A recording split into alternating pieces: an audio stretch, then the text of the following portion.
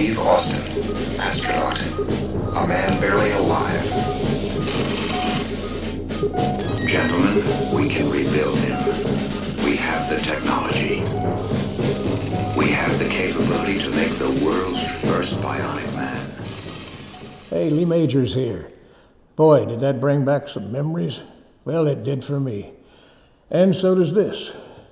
This is one of the props of the bionic arm that was used in the actual filming of The Six Million Dollar Man. And to my knowledge, there are only three of these. And it's going to go on sale. It'll be up for sale on studio auctions, their very first one coming soon. So go to their website, studioauctions.com, to learn more about time and date. And you know what? If you really are a Six Million Dollar Man fan, why not have Steve Austin's arm? I gotta run.